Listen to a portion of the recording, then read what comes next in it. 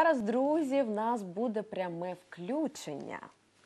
Так, е, наша спецпредставниця Аня Янкова цієї миті вже дуже рано вийшла на вулиці Києва, аби розповісти, що ж там відбувається. Наскільки ми розуміємо, вона вже зараз має бути біля одного з е, столичних будинків. Це легендарні хрущівки. Аня, ти чуєш нас взагалі? Що там відбувається? Що ти бачиш? Де ти? Привіт. Доброго ранку, студія. Мене чути? Чудово. За моєю спиною зараз ви бачите так звані хрущовки, про знищення яких нещодавно стало відомо.